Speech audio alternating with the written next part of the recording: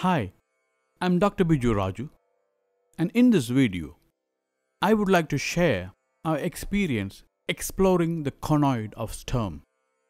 I acknowledge the help and support from our senior optometrist Anjana in the making of this video. This video is also, in a way, a tribute to one of the first experimental physicists, a mathematician, and a German genius, Johann Christoph Sturm, who, four centuries ago, described the conoid that forms the basis of all spherocylindrical lenses. But first, few basics.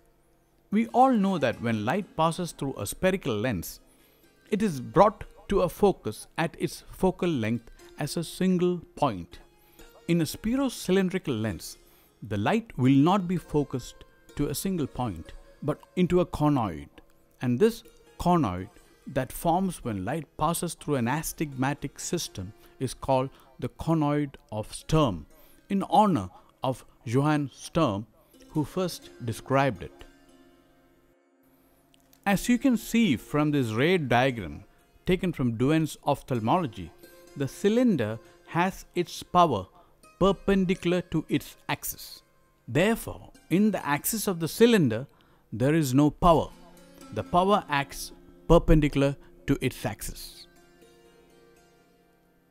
Let us take a look at what happens when light passes through a spherocylinder or a system which has two curvatures with one steeper than the other. For the sake of simplicity, in this diagram only two rays of light are highlighted. The one in orange in the vertical meridian and one in blue the horizontal. It is seen in this diagram that both these rays are focused to two focal points of principal foci. Between the two foci is the interval of Sturm and at the midpoint of the two foci is the circle of least confusion. Together they constitute the conoid of Sturm. This is an experiment to explore the conoid of Sturm. In order to locate the position and to understand the relationship of the two foci, the circle of least confusion, and the Sturm's interval in the conoid of Sturm. These are the materials required. We need a trial frame to place the lenses, a light source, we used a torch, plus 5 diopter sphere, a plus 5 diopter cylinder, a screen. In this setup we used a book with a black cover as a screen, a measuring scale to measure and mark the foci and the circle of least confusion. First step is to prepare the required spherocylindrical lens. Place the plus 5 diopter sphere in the trial frame and then the plus 5 diopter cylinder with its axis at 180 degrees.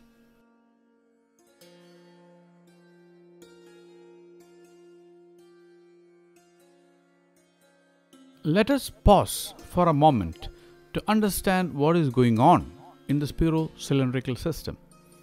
The power of the spherocylinder in the horizontal as well as the vertical meridian needs to be understood. As mentioned before, where a cylinder axis is, there is no power. Therefore, in the 180 degree axis, where the axis of the cylinder is, there is zero contribution from the cylinder and therefore the total power in the 180 degree meridian is only from the sphere that is plus 5 diopters. In the opposite axis, where all the power of the cylinder is acting, when combined with that of the sphere, the total power in the vertical meridian will be plus 10 diopters. We know that the focal length in meters is the inverse of the dioptric power. Therefore, in the horizontal axis, where the dioptric power is plus 5 diopters, the focal length or the focal point will be 1 by 5th of a meter or 20 centimeters. Similarly, in the vertical axis, the focal point can theoretically be calculated as 10 centimeters. And as the circle of least confusion should be in the middle of the two foci, in this experimental setup, we theoretically place it at 15 centimeters. Once our spherocylinder is set up, we have to fix the screen. In our case, we used a book. The light source was an ordinary LED torch which was placed about 2 or 3 meters away from the screen.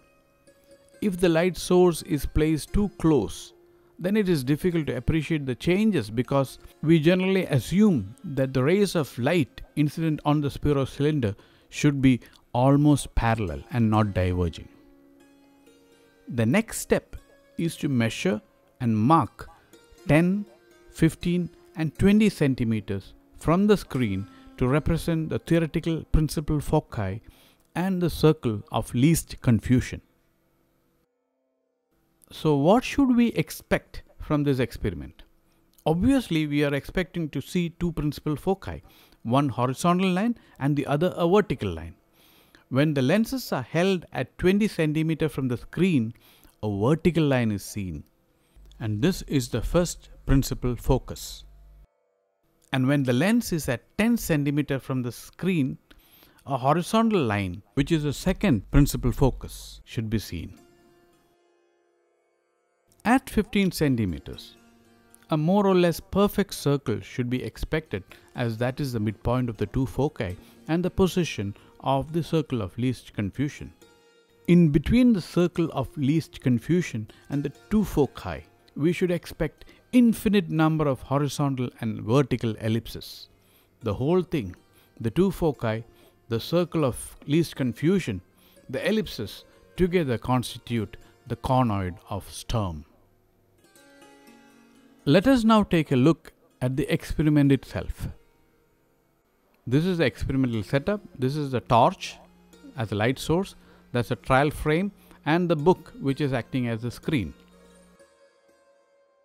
These are the markings at 10, 15 and 20 centimeters. As expected, when the spherocylindrical lens system was moved to 10 centimeters, a horizontal line was seen on the screen and this was the second of the principal foci.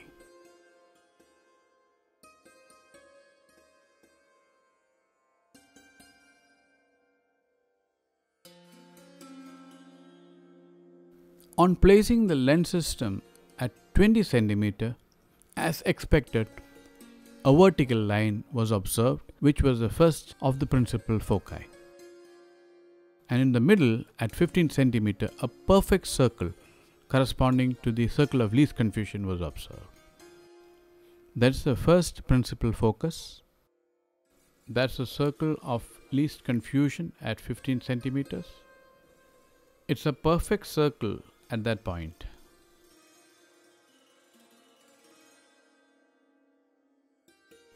And the second focal point at 10 centimeters. In between the two foci are infinite number of horizontal and vertical ellipses. Between the first focal point and the circle of least confusion, there are infinite number of vertical ellipses. And between the circle of least confusion and the second focal point, there are infinite horizontal ellipses. The principal foci, the circle of least confusion along with all the infinite ellipses constitute the conoid of Sturm, described four centuries ago by Johann Christoph Sturm. Thank you very much.